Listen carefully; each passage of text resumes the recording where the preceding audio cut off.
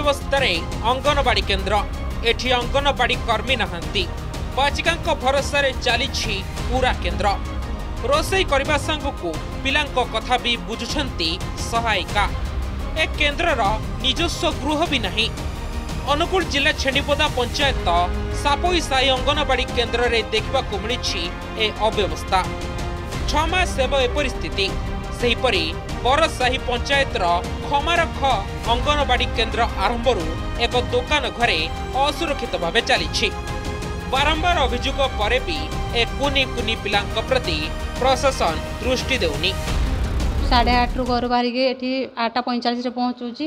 ଏଠି ଛୁଆମାନେ ଆସୁଛନ୍ତି ଆସିଲା ପରେ ଖାଇବା ସାଢ଼େ ବାରଟାରେ ଦିଆଯାଉଛି ଉଁ, ବାରଟାରେ ଦିଆଯାଉଛି ଛୁଆମାନେ ସାଢ଼େ ବାରଟାରେ ଯାଉଛନ୍ତି ମୁଁ ଏକଟାରେ ଘ- ଏଠୁ ବାହାରିକି ଯାଉଛି। ଆଜ୍ଞା ପ- ପାଠ ପଢ଼ଉଛି କିଏ? ମୁଁ ପଢ଼ଉଛି ସେପଟେ କାମ କରୁଛି ଏପଟେ କରୁଛି। ମାନେ ଅଙ୍ଗ- ଅଙ୍ଗନବାଡ଼ି ସେଣ୍ଟର ନାହିଁ ଏଇଠି ସ୍କୁଲ ନାହିଁ।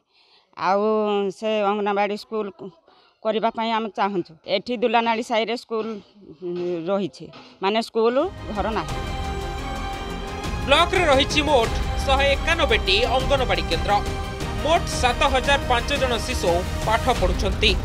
ଅଠରଟି କେନ୍ଦ୍ରରେ ନିଜସ୍ୱ ଗୃହ ନଥିବାରୁ ଭଡ଼ା ଘର ସ୍କୁଲ ଗୃହରେ ବର୍ଷ ବର୍ଷ ଧରି ଚାଲିଛି ଶିକ୍ଷାଦାନ।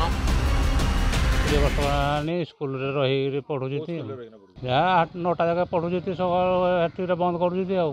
ସରକାର ତରଫରୁ ଯଦି ହବ ଜାଗା ନାହିଁ ଜାଗା ଯଦି ହେଇକରି ଘର ହେଇପାରିବ ତାହେଲେ ପାଠ ଛୁଆ ପଢ଼ିପାରିବେ। ଅଠରଟି ଅଙ୍ଗନବାଡ଼ି କେନ୍ଦ୍ରରେ ବହୁତ ଅସୁବିଧା ଅଛି।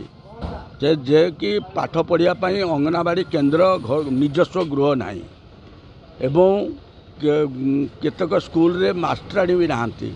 ଆଉ କେତେକ ମାଷ୍ଟରାଣୀ ନଥାଇ ରୋଷେଇଆ ମାଷ୍ଟର କାମ କରୁଛି ଏବଂ ଖାଇବାକୁ ଦେଇ ଏମ୍ ପିଲାକୁ ବି ପାଠ ବି ପଢ଼ଉଛି।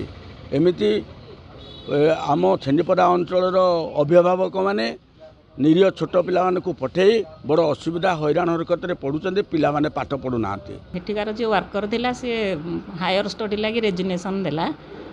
ତାପରେ ଆମେ ଏବେ ଆଡ଼ଭର୍ଟାଇଜମେଣ୍ଟ କରିବୁ ବୋଲି ସବ୍ କଲେକ୍ଟରଙ୍କୁ ଫାଇଲ୍ ଦେଇଛୁ ଆଉ।